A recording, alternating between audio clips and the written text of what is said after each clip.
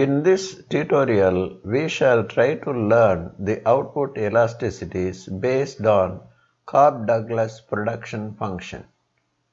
A typical Cobb-Douglas production function can be stated as Q equal to A L power alpha K power beta.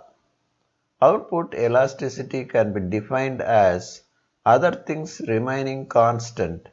Output elasticity measures the responsiveness of output to a given change in a variable factor.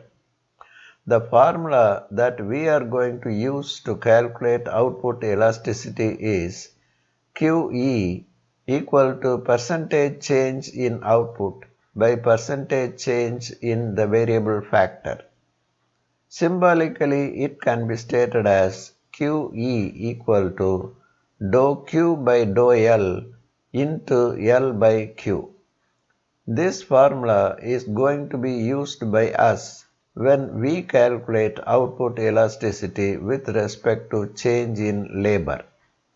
Okay, let us see what does each term represents. QE stands for output elasticity. Dou Q by dou L change in output with respect to labor. In other words, partial derivative of the given function with respect to labor. Q original output, L original quantity of labor.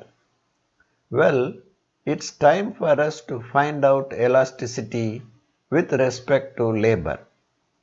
State the function Q equal to A L power alpha K power beta. State the formula QE equal to dou Q by dou L into L by K. Let us calculate first elasticity of output with respect to labor. To find dou Q by dou L, partially differentiate the given production function with respect to labor. Except L, all other terms are constant dou q by dou L equal to A alpha L power alpha minus 1 K power beta. Here L power alpha minus 1 can be stated as two terms. Simplify this. Dou q by dou L equal to A alpha L power alpha L power minus 1 K power beta. Rewrite dou Q by dou L equal to alpha by L A L power alpha K power beta. Since A L power alpha K power beta is equal to Q, we shall rewrite it as dou Q by dou L equal to alpha Q by L. Substitute the value of dou Q by dou L in the elasticity formula. QE equal to alpha Q by L into L by Q. Q by L and L by Q get cancelled. The value of elasticity is alpha. This is the exponent of variable labor L. In the same way, we can calculate the output elasticity with respect to K capital. One change is made in the formula.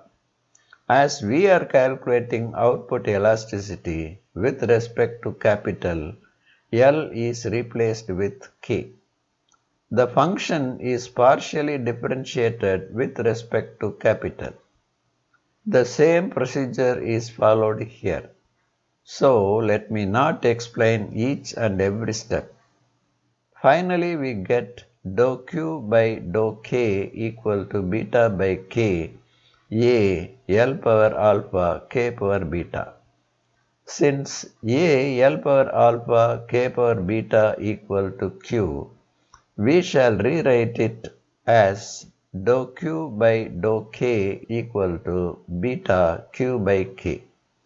Substitute the value of dou q by dou k in the elasticity formula. QE equal to beta q by k into k by q. q by k and k by q get cancelled. The value of elasticity is beta. This is the exponent of the variable capital K. In Cobb-Douglas production function, the finer points are 1. Exponent of labor alpha is the output elasticity with respect to labor. 2. Exponent of capital beta is the output elasticity with respect to capital. Our discussion ends here. We shall meet in the next lesson. Vanakkam.